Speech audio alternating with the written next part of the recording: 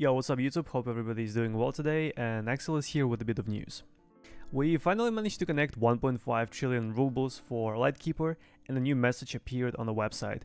It says, The ransom is finally collected, you can tell everybody that they can start working again and say thank you to everyone who helped. We are broke now, but we're still alive. The Lightkeeper is a dangerous man, it's best not to get in his way. See you later. He is not happy and I guess this is a cultist symbol.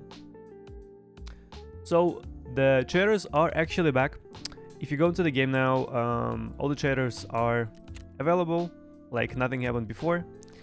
I guess later on today we're gonna get new dailies. I got a couple of dailies from Therapist yesterday when she got released, so I'm waiting for getting more daily tasks from other chatters. Also, if you did focus on um, leveling up and doing quests, you can go back to handing in your quests as they are available again. And uh, you can keep buying items, uh, everything went back went everything went back to normal. Sorry chat, I woke up a minute ago. Um, and if we check fence prices, they are still uh, pretty expensive I guess, so you can sell Iridium for 64k and if you sell it to a therapist, she buys it for 51. So fence prices are still buffed. I don't know if this is gonna stay.